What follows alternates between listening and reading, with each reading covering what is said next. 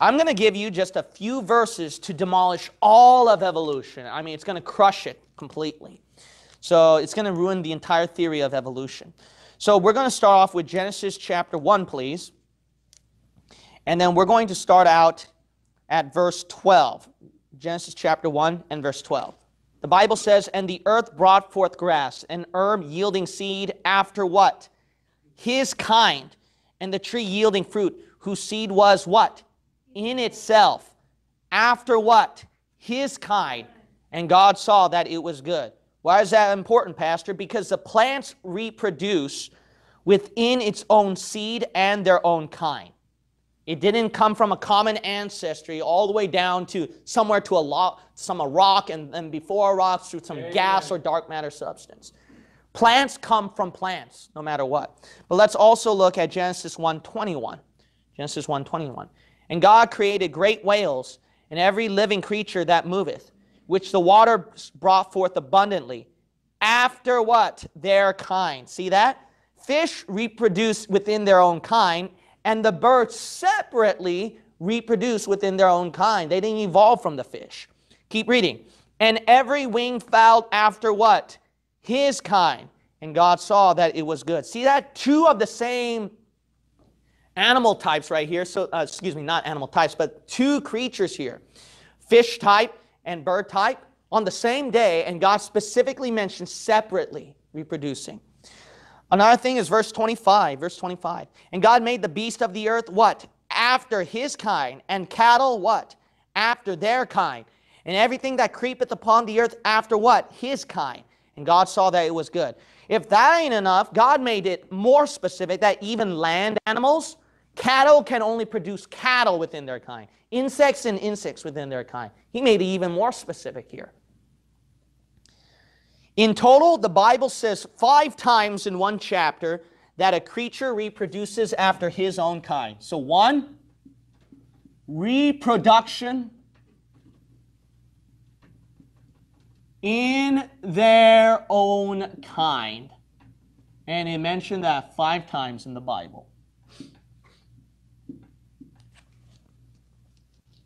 A plant can only reproduce plants, a bird can only reproduce birds, a fish can only reproduce fish. So I do not believe a fish can reproduce into a bird like evolution teaches. So that's so this completely demolishes the argument of macroevolution. Macroevolution. All right, let's turn to other passages that will debunk the theory. Well, not a theory, it's a fairy tale fairy tale of evolution. It's not even a theory. If, it's if we're going to validate that somewhat as a theory, I'm going to tell you this. That's quite, that is the most wild theory you'll ever hear. Let's also go to Genesis 1, verse 22. Genesis 1, verse 22. Evolution teaches that reptiles preceded the birds. Uh, but what you're going to find out is that the Bible clearly teaches that the birds preceded the reptiles. The process of evolution, the stages of evolution teach after the reptiles, and it would go into the birds. But look what the Bible says right here in Genesis chapter 1, verse 22. And God blessed them, saying, Be fruitful and multiply, fill the waters in the seas, and let what? Fowl multiply in the earth. Amen. And the evening and the morning were the what? Fifth day. After that, look at this. Look at verse 25. And God made the beast of the earth after his kind, and cattle after their kind, and what? Everything that creepeth upon the earth after his kind. And God saw that it was good. See that? Every creeping thing. So reptiles, notice that they were after, not before. So this demolishes evolution again. Let's also look at Genesis, uh, let's see right here. Genesis chapter 3 and verse 14. Genesis chapter 3, and we will read verse 14. Notice right here that the reptiles are definitely within the, cat, uh, within the category of what the Bible says in Genesis 1, the cattle of the earth, the one that creepeth. Let's look at Genesis chapter 1, uh, 3, verse 14. The Bible says right here, what did God say about the serpent, reptile? And the Lord God said unto the serpent, Because thou hast done this, Thou art cursed above all cattle and above every beast of the field. Remember, God said cattle, beast of the field at day six, right? So this has to include the reptiles. So that is included in there. Now, if that ain't enough, let's also look over here in Genesis chapter 2. Genesis chapter 2, verse 5. Genesis chapter 2, verse 5. Now remember, evolution teaches that it rained for centuries before mankind ever existed. But the Bible clearly teaches that mankind existed centuries before it even rained. Amen. Look at Genesis chapter 2, verse 5 through 6. And every plant of the field before it was in the earth, and every herb of the field before it grew, for the Lord God had not caused it to rain upon the earth, and there was not a man to till the ground. But there went up a mist from the earth and watered the whole face of the ground. So notice right here that another thing the Bible teaches is that it demolishes the idea that rain came before man. No, you'll find out right here that even before man, there was rain. I mean, excuse me, after man it was rain, excuse me. So notice that it's after man that it was rain, which is found at what? Noah's flood.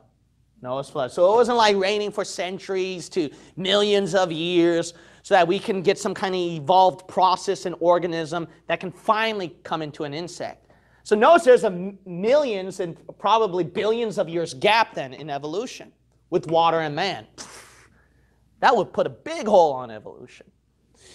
Here's another thing right here. Let's look at Genesis chapter 1 verse 12. Genesis chapter 1 verse 12. You notice how if people literally, I mean, I kid you not, if you just simply read the first chapters of Genesis, there's no doubt. You could easily say evolution is phony. Just, just the first chapters of Genesis. Isn't that amazing?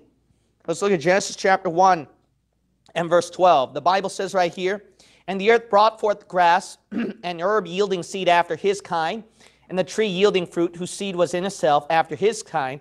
And God saw that it was good. And the evening and the morning were the what? Third day. That's third day. But what's after this? It's the sun at verse 16.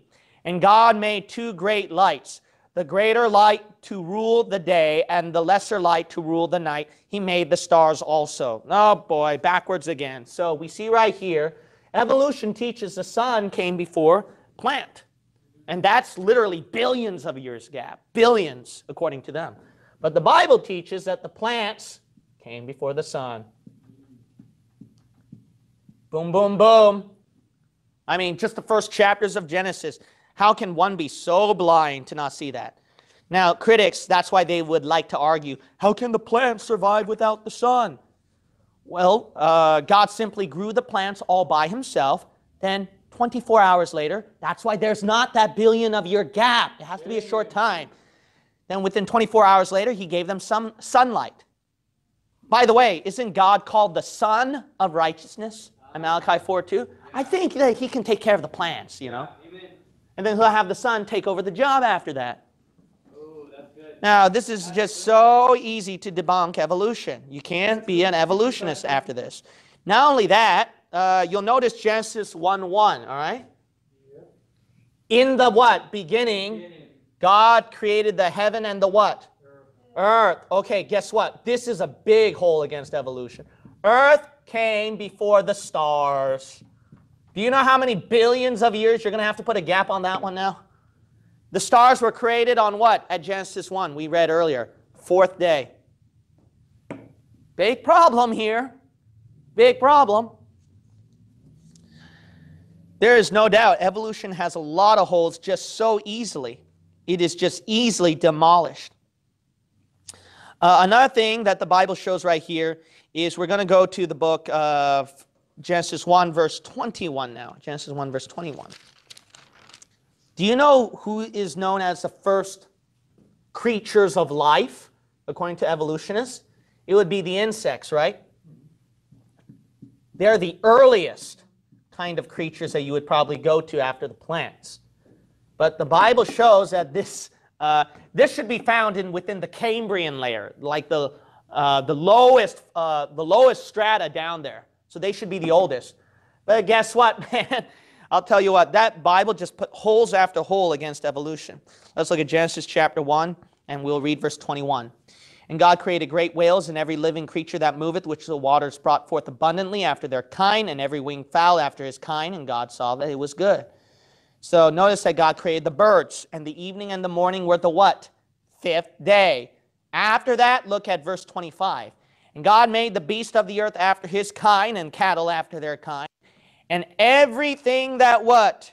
Creepeth upon the earth after his kind. And God saw that it was good.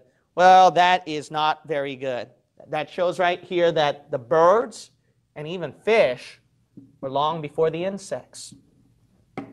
That you talk about millions of years gap right here. How can you be an evolutionist just reading the first chapters of Genesis? What Christian would lose common sense to believe in evolution Amen. after you just read the first I didn't we didn't go to scripture with scripture with scripture. I did not draw a board of dispensationalism. We just looked at first two chapters of Genesis, people. That's good stuff, Pastor. I mean, how can you be so blind? Now let's look at 2 Peter 3. This is the crux of theistic evolutionists. You will hear evolutionists quoting this passage because the Antichrist, he wants to bridge science and religion. So what's going on is that even though there's a lot of uh, evolutionists and atheists within the scientific community, you got to realize this. A lot of them are being open-minded to the spiritual realm. That is growing. And the Antichrist will thus succeed, see, getting that one world system of bridging religion and science. Now, you got to realize that science does not contradict the Bible, but their science is not science. It's science falsely so called. It's not even science. Let's look at 2 Peter chapter 3 verse 8. But beloved, be not ignorant of this one thing, that one day is with the Lord as a thousand years, and a thousand years as one day. So what evolutionists will try to do is that 2 Peter chapter 3, they will claim this passage at verse 8 that just because it mentions six days of creation, it just means six long ages of time. That's what they'll claim. Thus, billions of years you can add in there. Now, how this is easily debunked is completely demolished by the fact if you go to Genesis 1 again. See, we only stuck to Genesis 1 and 2. You don't have to jump to Matthew, Mark, Peter, even though I could do that, Psalms, Isaiah, and those things will demolish evolution. But you got to realize this is that the first two chapters of Genesis, it's like the Lord deliberately put in there so that people who don't know any Bible at all would at least get it. No, these people don't even get it themselves. Uh, six times, six times. This gets rid of the billions of years. The universe was not created within billions of years. This completely demolishes evolution. When you get rid of this, evolution falls apart. So what you're going to find out right here is that six times at Genesis 1, look at verse 5, and then look at verse 8,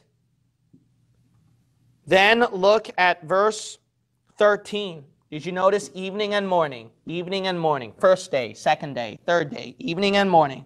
Look at verse 19. Now look at verse 23. You notice this? Evening and morning, evening and morning, evening and morning. First day, second day, third day. Look at verse 31. God had to repeat six times so that PhDs with DDs, XYZs, and LMNOP and ABCs could at least get the point. But no, you got hundreds of PhDs out there who didn't see this plainly six times. Evening and morning. First day, third day, fourth day, sixth day. Six times. Those were literal 24 hour days. How can you believe in this? They had to jump. So this proves that if they found this verse to support evolution, this is utmost proof. They deliberately blinded their eyes on the first page, which any fool can see. They deliberately blinded themselves from Bible reading, and they were deliberately trying to find a verse that would support their belief. That is evidence. It, oh, well, I'm an honest person. I honestly read the Bible and I couldn't understand its interpretation. No, why did you jump all the way so many books later to find this? How did you find this verse? Did you learn it from somebody else? Or was it through your own reading? Or if your own reading, you could have found six times. What do you mean interpretation is deep? Evening and morning were the first day. Okay, I, I can take one of these kids out of Sunday school class and ask them what that means. Does that mean billions of years? Or does that mean 24 hour day? What do you mean? Don't embarrass yourself, please. Not only that, here's another hole. Plants were before the sun, right? What do you think will happen within billions of years? What, what do you think is going to happen to plant life then after that? You know, what, what are you going to do after that? Not only that, if you look at Exodus uh, chapter 20 and verse 11, it proves it was six short days in Exodus chapter 20 and verse 11. So You'll find out right here that the Bible proves over and over again that evolution is definitely faulty. There is no way that evolution can support can support the Bible in any way, and the Bible completely dismantles that. Not only that, it supports several laws right here. It supports these are scientific, and I mean scientific laws. It supports the law of biogenesis. Life comes from life. I like how it says Genesis too appropriately fits with our book, Genesis. It also supports the law of the, the laws of thermodynamics. Why? Because what it teaches right here in the laws of thermodynamics, if you know your entropy, is that if you put a billions of your lifespan in something like that, what's going to happen? It's going to die out. And the Bible shows that life had to come from life. Something had to keep it going because everything dies out in the universe. So, look, if that's going to happen, use some common sense. Wouldn't it make sense? You have to, you have to argue some kind of eternal, and it has to have purpose too, something that can purpose and guide it. An eternal, purposed power somewhere outside of the bounds of the universe that can keep it running. And what are you going to call it if you can't call that God? something that has intelligence and purpose, something that has to make it eternal.